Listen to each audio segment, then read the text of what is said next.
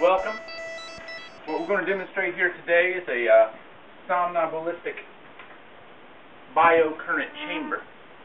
Uh, the subject will rest here, fall into a REM sleep, in which case the biocurrent is then transmitted through these, conducted through these foil tabs, which are running around the entire structure.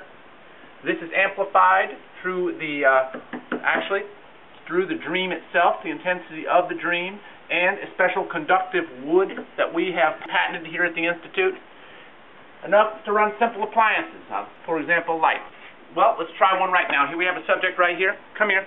Come here. Come on. Come on. Come on. Come on. Come in here. Come on up. Come on. Come on up. Come on up here. Come on up here. Come on up here. Come on.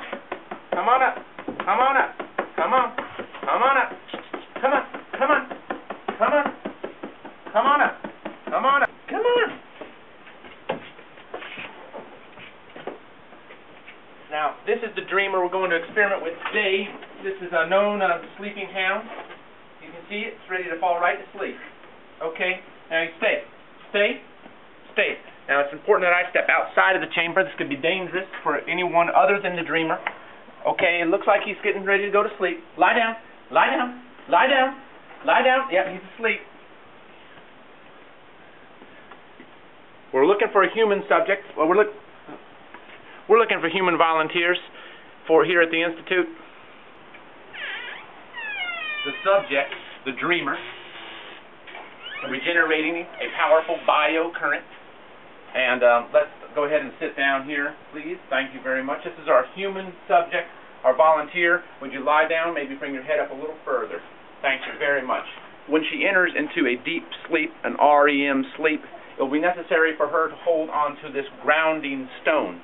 If she were to let go of this stone, even for a moment, it could forfeit the results of the experiment and, even more importantly, be dangerous to her life. Go ahead. Let me adjust that pillow for you. Go ahead and relax. Feel free to dream.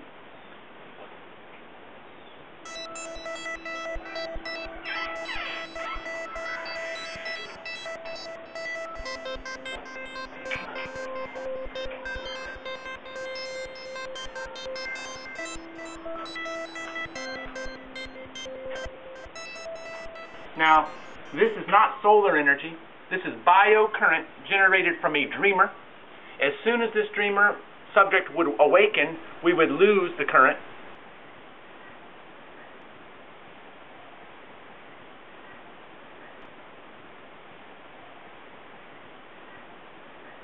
And as we see, as the dreamer is awoken, the light goes out. That is proof of biocurrent generated from a human subject dreaming in a deep REM sleep.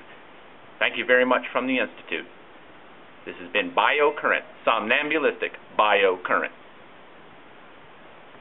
The future is ours. No conventional, solar, nuclear, or UFO energy was used in the production of this film. Thank you from the Ajax Films Institute.